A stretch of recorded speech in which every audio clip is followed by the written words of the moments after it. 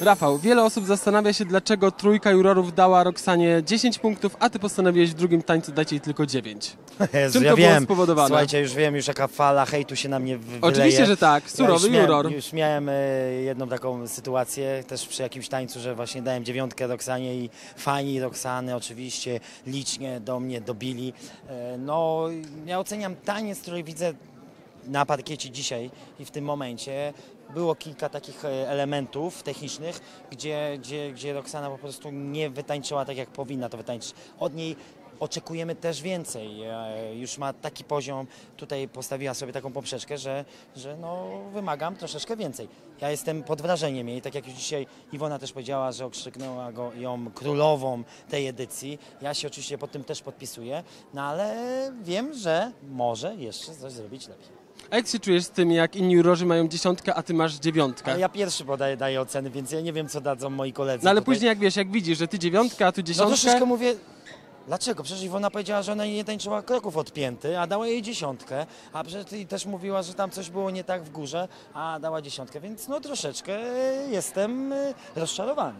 no to e, odpowiedz na zarzut, że ty nie lubisz Roxany Węgiel. Ludzie Nigdy tak w życiu, ja uwielbiam Roxanę Węgiel, Węgiel nie lubisz, kocham się ją. mścisz na niej. Nie, coś ty, ja kocham, uwielbiam Roxanę i e, e, wspieram ją w jej wszystkich e, projektach. Pamiętam jak tańczyła w innym programie tanecznym, e, w którym sobie świetnie poradziła, więc e, też mam to z tyłu głowy, więc e, tak jak już powiedziałem, ja wymagam od niej więcej, wiem, że może więcej, wiem, że dużo pracuje i, i tyle, no i... I kropka, Dziewięć lubię, to jest lubię, źle? lubię, Dziewięć to jest lubię. źle? Nie no, no wiesz, tu dali 9, tu dali 10, No, ale więc 9 no, to jest jest, bardzo pewnego wysoka rodzaju rozbieżność, ale po raz pierwszy w tej edycji dałeś jedynkę, Dagmarze. Czym ona Dwójkę. sobie zasłużyła? A, ty Dwójkę. dałeś Ja dwójkę? dałem dwójkę, ja dałem dwójkę. A, okej, no dobra. Dlaczego zdecydowałeś dać się Dagmarze tylko No dwa bo punkty? powiem Ci, że y, nigdy jeszcze przez 26 edycji bodajże, czy 5, już nie wiem ile, to już chyba 26 edycji, nikt nie zatańczył w klapkach. I e, za te klapki, no to jest też wyzwanie, no żeby sobie nie skręcić kostki, żeby sobie nie zrobić krzywdy, a e, Dagmara wyszła i przeszła się w klapkach po parkiecie. A co ty w ogóle sądzisz o tym, że Dagmara nie założyła butów tanecznych na drugi występ, czyli na Broadway Jazz? Tylko jakieś tam Mogła swoje zatańczyć szpilki. bez butów, no bo to by bardziej pasowało do też klimatu. No, e, Broadway jazz tańczy się albo w, w takich jazzowych butach, albo się tańczy boso. E, Nie wiem czemu. Taki był zamysł, może stylizacji, może chodziło bardziej Dagmarze o tym, żeby lepiej wyglądała niż tańczyła. A czy to jest y, kontuzjogenne? No na pewno, no, tańczyć w klapkach no, to jest naprawdę e, no, to jest ryzyko. Mogła naprawdę tutaj dzisiaj e, mogło się skończyć dramatem. A jak oceniasz w ogóle jej postęp? No tu postępu nie widać. Mhm.